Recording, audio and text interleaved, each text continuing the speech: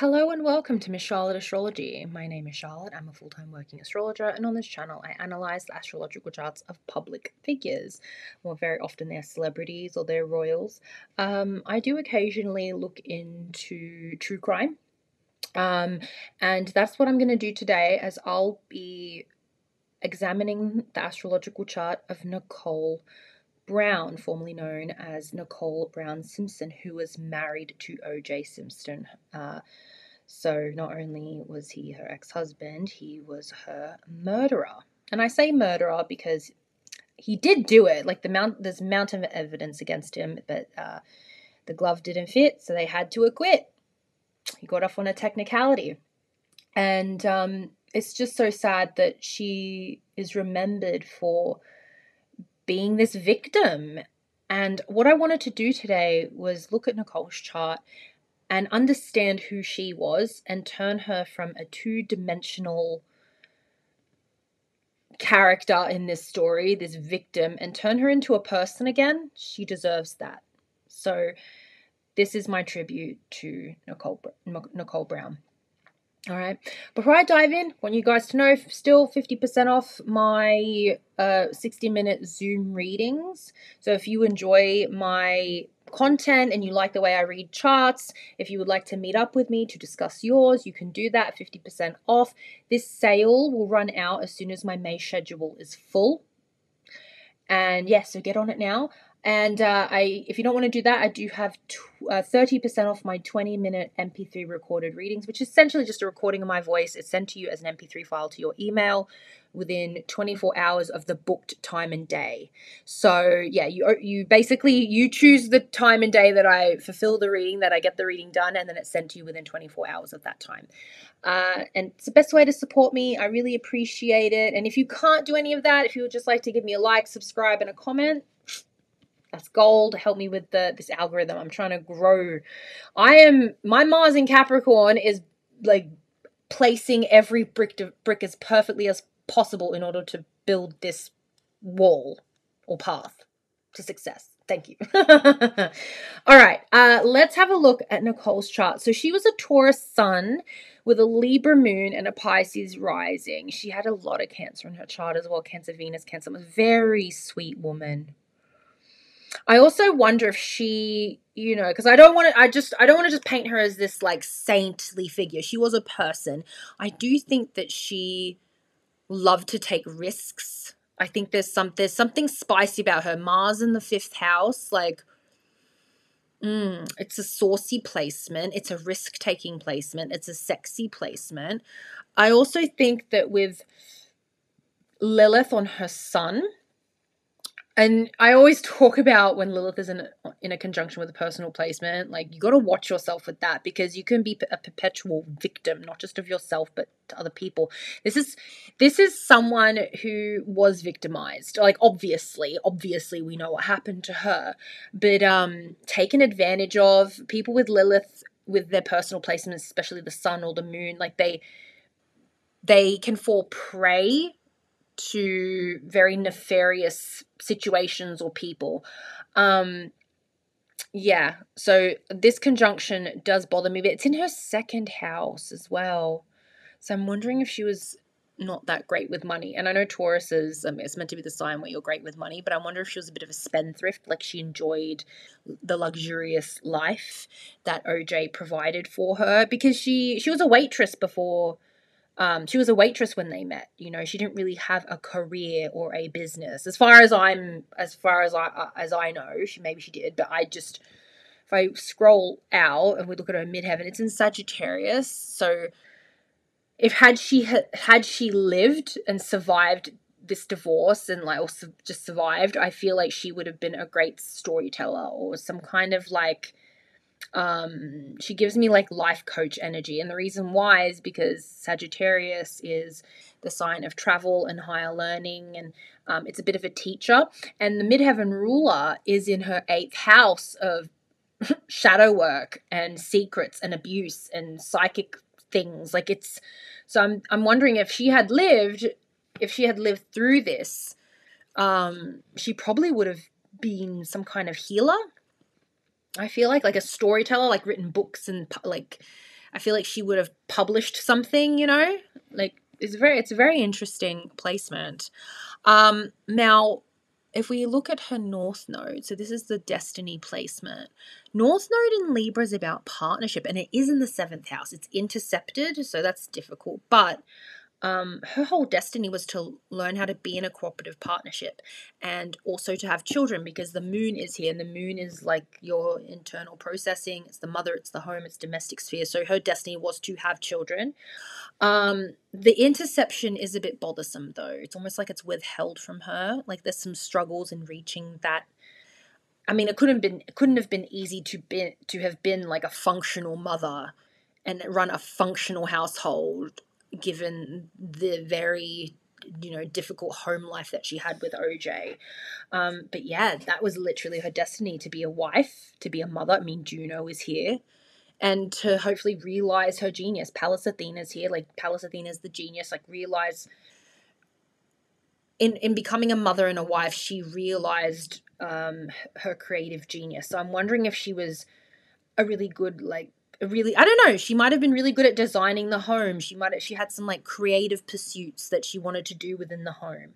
So I'm wondering about that. And part of fortune is here as well. Like part of fortune is where you get fortune.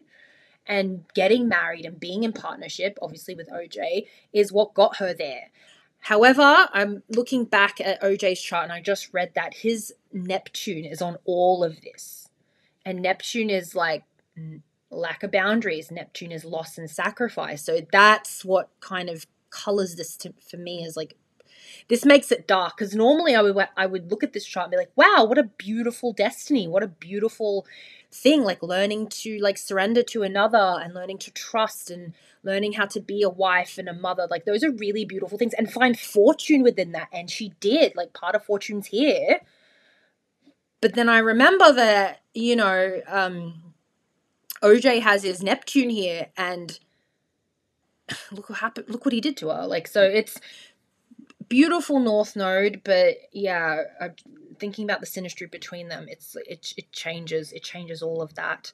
Uh, she has Pluto on her descendant. Pluto, the planet of death and transformation. If that's on the descendant, that's not easy. Like these people have very transformative and difficult experiences in uh, in partnership, both romantic and platonic, like it can in really intense friendships, um, potentially. And I'm not accusing her of anything at all, but um, I'm wondering if there was some there was some friendships that did cross the line that did get because I've heard some things about about the whole Chris Kris Jenner. She was married to uh, Robert Kardashian. I heard that there was there was some funny business going on with Kris Jenner and OJ and Robert Kardashian, and maybe Robert wasn't part of it. I feel like he's a bit straight laced, uh, but I feel like there's some there's something here with with partnership, with marriage, with friendship. Like there's just a, and also like she's got a Lilith here. She's got Lilith on her sun, so I'm wondering if there was maybe a lack of boundaries in friendships maybe sex and friendships were very intertwined i have heard some things and i don't know if they're true so i'm not gonna obviously like like lean into that too much but I, if that is true if that was true I, mm. I it makes a lot of sense here. It makes a lot of sense. And also with with the mars and the fifth like that's someone who's very sexually experimental as well. But at the same time because they are in cancer like sex and the moon moon and mars are together in the same sign. They're not in a conjunction but they are together um, sex and love are very intertwined for her. Like, I mean, I'm a Taurus placement. I always talk to Cancer Venuses, Cancer Marses, and they, they, they, they we, we share that. We're just like, yeah, if we sleep with someone, like, we are like locked in and in love forever. Like, so yeah. I mean, if fifth house is the house of leisure and pleasure, and if your Mars is in there, sex is part of that. Like, it's part of that for everyone, but I think some like it's it might not be taken as seriously sometimes. So I'm wondering how, yeah, if she had fun with this. I mean, more power to her, whatever. um, now let's have a look at some of these harsh, harsh aspects. So she's got her her Taurus sun in opposition to Jupiter. Jupiter's the husband and it is retrograde. And it's interesting because OJ also has his Jupiter in retrograde. Disappointing husband, disappointing marriages. She has it too. And then it squares off with Pluto in the seventh house. So what we're seeing is, and I count Jupiter, it's a semi generational planet, right? It's in the sign for a year. So can we just count it as a generational planet? She's two gener- generational planets as squaring off. So her partnerships, this Pluto on the descendant, so her interactions with people, these transformative interactions with people right here, doesn't cooperate with Jupiter, which is the marriage. So maybe in her lifetime, and this is certainly true, she could have a jealous husband. Who are you with? Who are you talking to?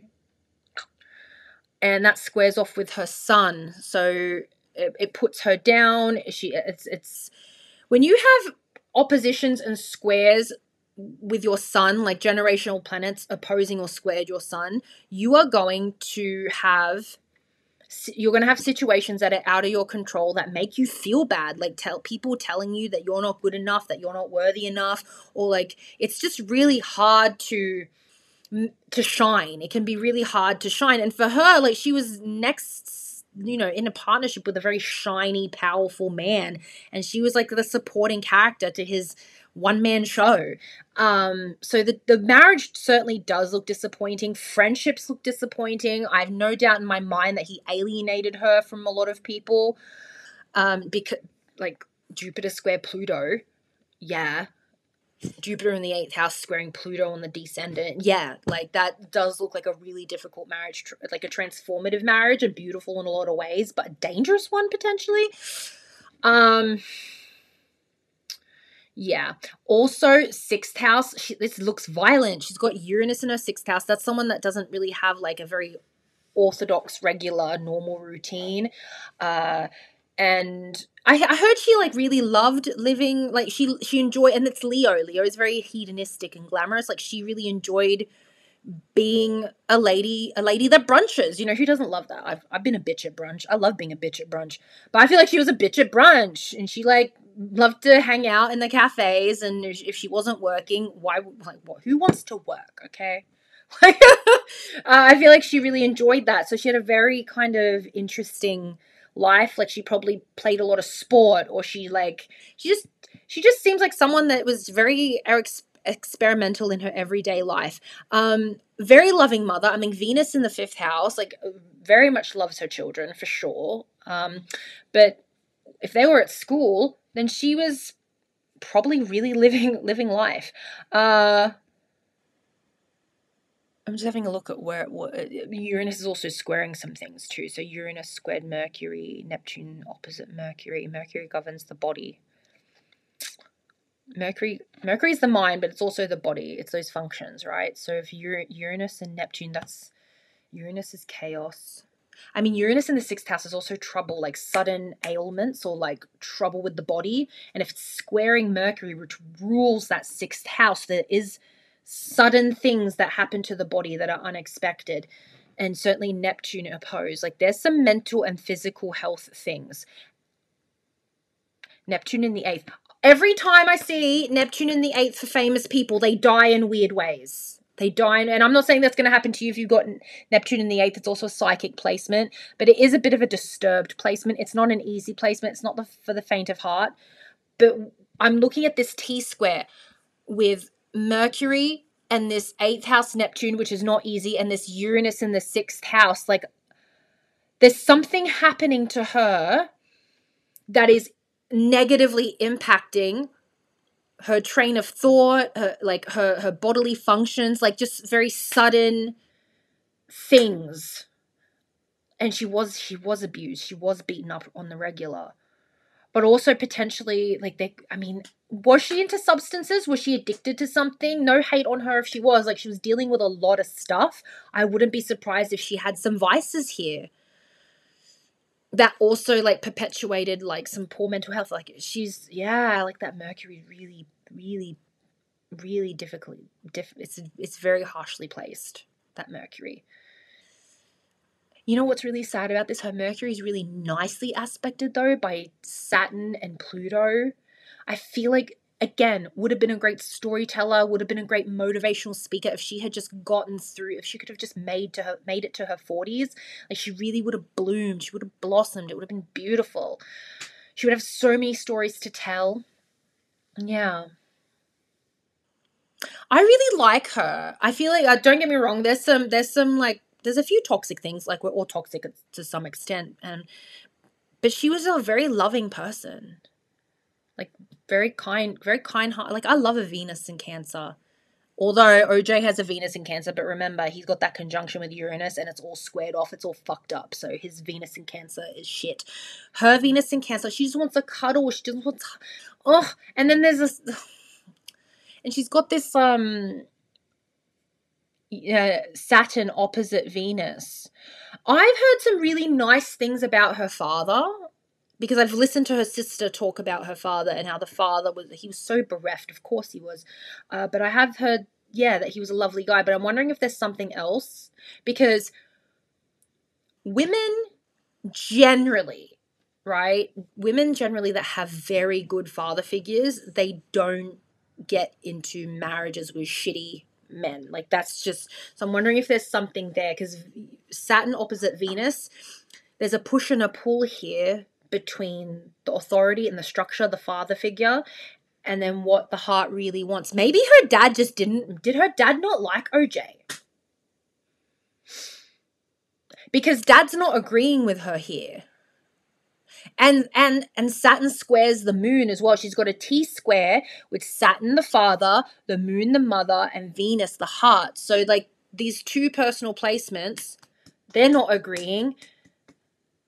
It's almost like what she's attracted to, because Venus in Cancer, the what she's attracted to, it goes against what she needs. It it it it it um there's a war between her value system and what she actually needs in a loving relationship. Oh, that's hard. And there's also Saturn here, which is disagreeing with how she runs her life and who she falls in love with. Like, dad, dad won't get off my back, and dad keeps saying that I married the wrong guy. I don't know if this is necessarily the case, but there's something here with her father and men and authority figures that is hurting her or neglecting her or there's something here. Can any does anybody know anything about the relationship with her which that she had with her dad? Because i hear nice things that he was a good man and he very well could have been a very good man. Don't get me wrong but there's some kind of dysfunction here and i can't pin pin i can't pinpoint it because obviously i don't know much about her life i'm just trying to understand why she entered this union and why she stayed in this marriage for so long. Like, oof. Like, she had kids, obviously. She had kids, and she did eventually leave. So, more the power to her. She eventually, yeah, she got out of that. But, oh. It's, what's really shit is that she left him and she just escaped his clutches, and then he, he, like, he managed to kill her anyway. Like, that's the saddest thing. She was a really sweet lady really like I could like I, I, I she was a really good person, and she she would have been fun at brunch. I see her being like a, a just a really good time. Like she's a fifth houser.